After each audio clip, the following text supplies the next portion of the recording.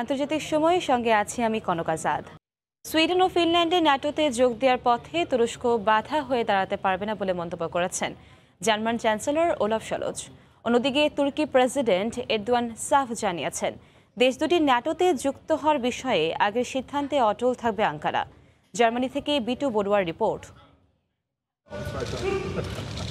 বিশ্বজুড়ে আলোচনার কেন্দ্রে সুইডেন ও ফিনল্যান্ডের ন্যাটোতে যোগ দেওয়ার সিদ্ধান্ত এবং এ নিয়ে সদস্য রাষ্ট্রগুলোর মধ্যে মতানৈক্যের বিষয়টি রাশিয়া ইউক্রেন যুদ্ধকে কেন্দ্র করে বাল্টিক অঞ্চলের দেশ দুটির ন্যাটোতে অন্তর্ভুক্তির ইস্যুতে শুরু থেকেই আপত্তি জানিয়ে আসছে তুরস্ক। তবে আঙ্কারার কোনো আপত্তি দেশ দুটিকে জোটভুক্ত হওয়ার পথ বন্ধ করতে পারবে না বলে সাফ জানিয়েছেন জার্মান চ্যান্সেলর ওলাফ শলস বৃহস্পতিবার প্রতিবেশী দেশ নেদারল্যান্ডসের হেগেতে দেশটির রাজা উইলেম আলেকজান্ডার ও প্রধানমন্ত্রী মার্ক রুটের সঙ্গে সুইডেন ও ফিনল্যান্ড ইস্যুতে একান্ত আলাপে এমন মন্তব্য করেন তিনি।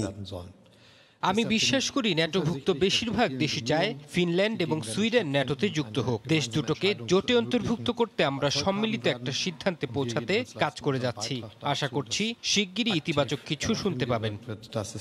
অন্যদিকে বৃহস্পতিবার আঙ্কারায় এক সংবাদ সম্মেলনে সুইডেন ও ফিনল্যান্ড ইস্যুতে কথা বলেন তুর্কি প্রেসিডেন্ট রিসেপ তাইয়েব এরদোয়ান। এ সময় তিনি বলেন দেশ দুটির ন্যাটোতে যোগ দেওয়ার বিষয়ে এখনও আগের অবস্থানে অনড় রয়েছে তুরস্ক।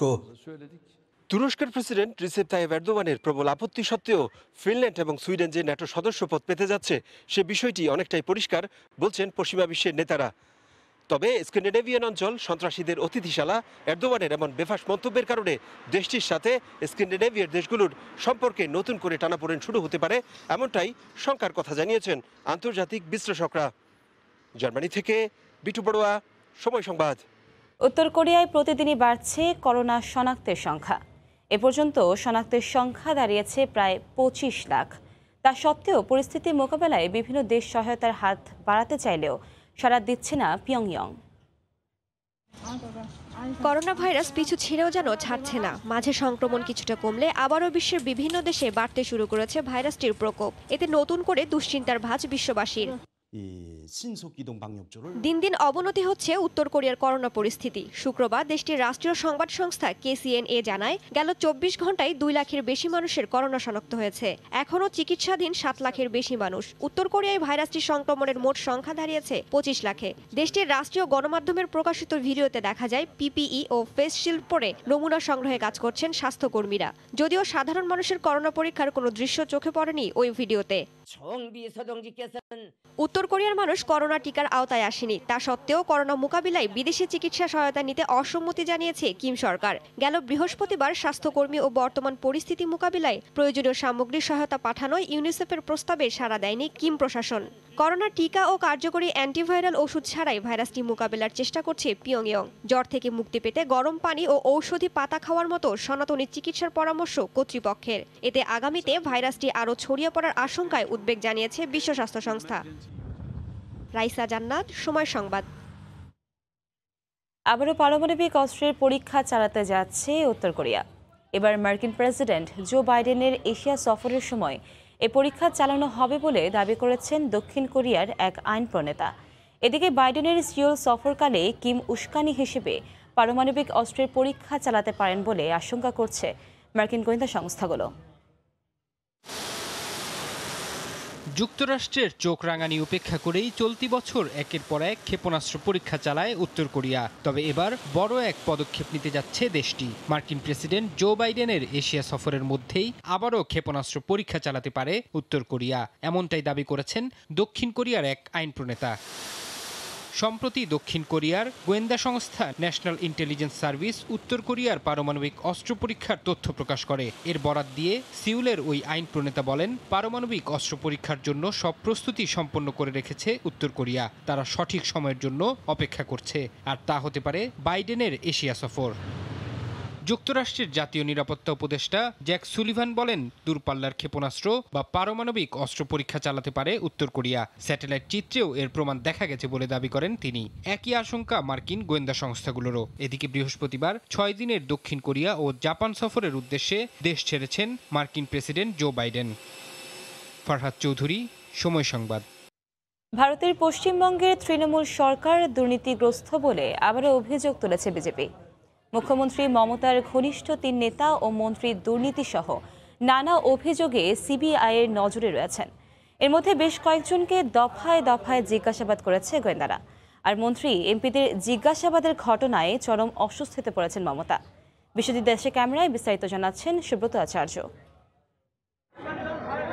সময়টা মোটেও ভালো যাচ্ছে না তৃণমূল কংগ্রেসের সভানেত্রী মমতা বন্দ্যোপাধ্যায়ের তৃতীয় মেয়াদে ক্ষমতায় আসার পর থেকেই তার দলের শীর্ষ নেতা ও মন্ত্রীদের বিরুদ্ধে একের পর এক উঠছে অভিযোগ। কেউ গরু পাচারের সঙ্গে জড়িত, কেউ আবার কয়লা পাচারের সাথে। আবার কারও বিরুদ্ধে মেথাক্রম উপেক্ষা করেই কোটি কোটি টাকা ঘুষ খেয়ে ঢালাওভাবে সরকারি চাকরিতে নিয়োগ দেওয়ার অভিযোগও উঠেছে তীব্রভাবে। তাদের একজন পার্থ চট্টোপাধ্যায়। প্রভাবশালী তৃণমূল নেতা ও বর্তমান বাণিজ্য মন্ত্রী এবং সাবেক শিক্ষামন্ত্রীও। শিক্ষক নিয়োগে ঢালাও দুর্নীতি ও স্বজন পোষণের অভিযোগে জেরার মুখে কেন্দ্রীয় গোয়েন্দা সংস্থা সিবিআইয়ের কাছে। বীরভূম জেলা সভাপতি অনুব্রত মণ্ডল, মমতার স্নেহভাজন বলে পরিচিত সব মহলে গরু ও কয়লা পাচারের ভাগ নেয়ার অভিযোগ রয়েছে তার বিরুদ্ধে। বৃহস্পতিবার তাকেও দফায় দফায় জেরা করে কেন্দ্রীয় গোয়েন্দা সংস্থা সিবিআই। শিক্ষা প্রতিমন্ত্রী হয়ে ক্ষমতার অপব্যবহার করে যোগ্য না হওয়া সত্ত্বেও নিজের মেয়েকে শিক্ষক পদে চাকরি দেওয়ার অভিযোগে সিবিআইয়ের তলব পেয়েছেন মন্ত্রী পরেশ অধিকারী। প্রায় দুদিন ভয়ে আত্মগোপন করে কোর্টের নির্দেশে শেষ পর্যন্ত নিজেই ছোটেন কেন্দ্রীয় গোয়েন্দা দপ্তরে। তবে তৃণমূল সভানেত্রী মমতা বন্দ্যোপাধ্যায় ঘুরিয়ে সেই বিজেপির কাঁধেই ষড়যন্ত্রের দোষ চাপান বলেন বিজেপি তুগলুকি কাজ করছে। এরা জগাই মাধাই গদাই। সিপিএম কংগ্রেস আর বিজেপি একেবারে তিনজন ভাই ভাই এবং তারা মানুষের ক্ষতি ছাড়া কোনো ভালো করে না। শুধু মমতা বন্দ্যোপাধ্যায় ঘনিষ্ঠ, এই মন্ত্রীরাই নন। মমতার আপন ভাইপো এবং রাজ্য রাজনীতির মমতার পরের প্রভাবশালী অভিষেক বন্দ্যোপাধ্যায়ের বিরুদ্ধেও রয়েছে একইভাবে কয়লা পাচারের ভাগ নেয়ার মতো গুরুতর অভিযোগ। আর সেই অভিযোগের পরিপ্রেক্ষিতে তাকেও দফায় দফায় সিবিআইয়ের জেরার মুখোমুখি হতে হয়েছে এবং আগামীতেও ডাকা হবে বলে কলকাতার গণমাধ্যম দাবি করছে। তবে প্রশ্ন উঠছে, এই যে সিবিআইয়ের তদন্ত শুরু, পশ্চিমবঙ্গে ক্ষমতাসীন দল তৃণমূল কংগ্রেসের এবং মমতা বন্দ্যোপাধ্যায়ের ঘনিষ্ঠ তিন মন্ত্রীকে দফায় দফায় সিবিআইয়ের জেরা, তাতে কি দু হাজার চব্বিশ সালের ভারতের জাতীয় নির্বাচনে বিজেপি অ্যাডভান্টেজ পাবে? নাকি বিজেপির বিরুদ্ধে সেই একই রকমভাবে কেন্দ্রীয় এজেন্সিকে ব্যবহারের অভিযোগ তুলে আবার ভোটের মাঠ গরম করবেন মুখ্যমন্ত্রী তথা তৃণমূল কংগ্রেসের সুপ্রিমো মমতা বন্দ্যোপাধ্যায়? সেটা কিন্তু সময় বলবে। কলকাতা থেকে সুব্রত আচার্য, সময় সংবাদ। রেলের পর পহেলা জুন থেকে ঢাকা কলকাতা রুটে সরাসরি বাস চালুরও আভাস পাওয়া গেছে। এ নিয়ে বাংলাদেশি পর্যটকদের স্বস্তির পাশাপাশি খুশি কলকাতার ব্যবসায়ীরাও। বিশ্বজিৎ দাসের ক্যামেরায় বিস্তারিত জানাচ্ছেন সুব্রত আচার্য। প্রায় দুবছর বন্ধ থাকার পর আবারও প্রতিবেশী দুই দেশের মধ্যে রেল সার্ভিসের ঘোষণা দিয়েছে ভারত বাংলাদেশের রেল দপ্তর। আগামী উনত্রিশে মে কলকাতা, ঢাকা, খুলনা রুটের মৈত্রী এবং বন্ধন এক্সপ্রেসের চাকা গড়াবে রেল লাইনে।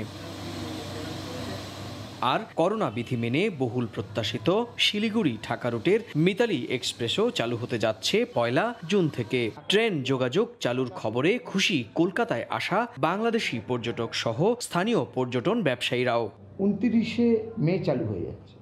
উনতিরিশে মে ঢাকা থেকে ঢাকা কলকাতা মৈত্রী এক্সপ্রেস চালু হবে। একই দিনে কলকাতা থেকে কলকাতা ঢাকা মৈত্রী এক্সপ্রেস চালু হবে। মৈত্রীটা চালু হয়। বাংলাদেশের আনাগোনাটা আরটু বেশি হবে ইন্ডিয়াতে বিশেষ করে কলকাতায় প্রচুর কাস্টমার আছে মৈত্রীর মৈত্রী এক্সপ্রেস চালু হলে আমাদের দুই বাংলার মৈত্রী আরও সহজ হবে, আমাদের চলাচল সহজ হবে। এদিকে ঢাকা কলকাতা রুটের বাসও দ্রুত চালুর আভাস দিয়েছেন কর্তৃপক্ষ। আগামী পয়লা জুন থেকেই কলকাতা ঢাকা কলকাতা রুটের সরাসরি যাত্রীবাহী বাস সার্ভিস চালু হতে পারে বলে জানান এই খাতের সংশ্লিষ্টরা। এতে অনেকটাই স্বস্তি বিরাজ করছে স্থানীয়দের মাঝেও। জুন মাসের এক তারিখে শুরু হওয়ার সম্ভাবনা আছে। মৈত্রী ট্রেন চালু হলে আমাদের গাড়িও চালু হয়ে যাবে, এটা আশা করছি। এপ্রিল মাসের শেষ দিকে ভারত ও বাংলাদেশের মধ্যে পর্যটন ভিসা পুরোপুরি চালু হওয়ার পর থেকেই কলকাতায় বাড়তে থাকে বাংলাদেশি পর্যটকদের আনাগোনা। পেট্রাপোল ও বেনাপোল স্থল বন্দরে দীর্ঘ লাইনে দাঁড়িয়ে যাত্রীদের ভারতে প্রবেশ যে বিড়ম্বনায় পড়তে হয়, ট্রেন ও বাস সার্ভিস চালুর মধ্য দিয়ে তা অনেকটাই কমবে বলে মনে করছেন সংশ্লিষ্টরা। কলকাতায় আসা বাংলাদেশি পর্যটকরা বলছেন ঢাকা কলকাতা কলকাতা ঢাকা রুটের মৈত্রী এক্সপ্রেস চালু হলে এবং একই সঙ্গে ঢাকা, কলকাতা কলকাতা রুটের সরাসরি বাস পরিষেবা চালু হলে সীমান্তের যে ভোগান্তি, সেটা অনেকাংশেই কমে আসবে। কলকাতার মার্ক স্ট্রিট থেকে সুব্রত আচার্য, সময় সংবাদ। ফুটবল বিশ্বকাপ উপলক্ষে তিন ক্যাটাগরিতে বাংলাদেশ থেকে কর্মী নিতে চায় কাতার। দুই মাসের মধ্যে এই বিষয়ে চুক্তি হতে পারে বলে জানিয়েছে কাতার সফররত বাংলাদেশের প্রবাসী কল্যাণমন্ত্রী। এই অবস্থায় আবারও শ্রমবাজার চালুর আশায় মুখী প্রবাসীরা। কাতার প্রতিনিধি আনোয়ার হোসেন মামুনের তথ্য ছবি নিয়ে রিপোর্ট। ফুটবল বিশ্বকাপ সামনে রেখে বিভিন্ন খাতে ভারত, পাকিস্তান এবং নেপালের মতো দেশের শ্রমিক ভিসা চালু থাকলেও দীর্ঘদিন ধরে বাংলাদেশ থেকে শ্রমিক নেওয়া বন্ধ রেখেছে কাতার। তবে প্রবাসী কল্যাণ ও বৈদেশিক কর্মসংস্থান মন্ত্রীর কাতার সফরের মধ্য দিয়ে নতুন সম্ভাবনার দ্বার খুলতে যাচ্ছে। ফুটবল বিশ্বকাপ উপলক্ষে তিন ক্যাটাগরির কর্মী নেওয়ার আগ্রহ দেখিয়েছে কাতার সরকার। নিরাপত্তা কর্মী, হসপিটালিটি ও ট্রান্সপোর্ট খাতে কর্মী নেওয়ার কথা জানিয়েছেন কাতারের শ্রমমন্ত্রী। কাতার সরকার মন্ত্রী মহোদয়কে আশ্বস্ত করেছেন বাংলাদেশের তিন ক্যাটাগরিতে ভিসা চালু হচ্ছে। যদি বাংলাদেশের ভিসা অতি শীঘ্র খোলা হয় আমি মনে করি আমরা যারা এখানে ব্যবসা করি আমাদের দেশের জন্য ভালো হবে। এ বিষয়ে আগামী দুই মাসের মধ্যে কাতারের শ্রমমন্ত্রী বাংলাদেশ সফর করবেন বলে জানান প্রবাসী কল্যাণ ও বৈদেশিক কর্মসংস্থান মন্ত্রী। এই দুই মাসের মধ্যে উনি বাংলাদেশে সফরে আসবেন। সে একই সময় আমাদের যে জয়েন্ট কমিটি যেটা আছে ওটারও আমরা মিটিং করব। ছাব্বিশ লাখের বেশি জনসংখ্যার দেশ কাতারে, চার লাখের বেশি প্রবাসী বাংলাদেশির বসবাস। কিছু সংখ্যক প্রবাসী ব্যবসা বাণিজ্যের সঙ্গে জড়িত থাকলেও অধিকাংশই নির্মাণ শ্রমিক হিসেবে কর্মরত রয়েছেন। বাংলাদেশি শ্রমিকরা চলতি বছরের ফুটবল বিশ্বকাপের স্টেডিয়ামগুলো নির্মাণে বড় অবদান রাখছেন। সময় সংবাদ, দোহা, কাতার। এ ছিল আন্তর্জাতিক সময়। সঙ্গে থাকুন সময়ের।